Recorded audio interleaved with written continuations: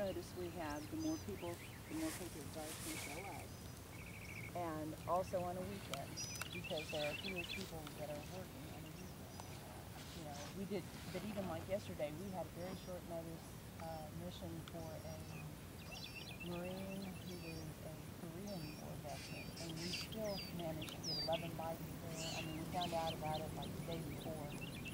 Managed to get eleven bites there, and I think there were like 11, 12, 13,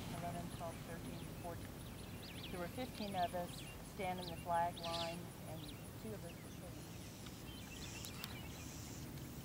Somebody's got three flags. Although the, there's a couple of uh, broadcast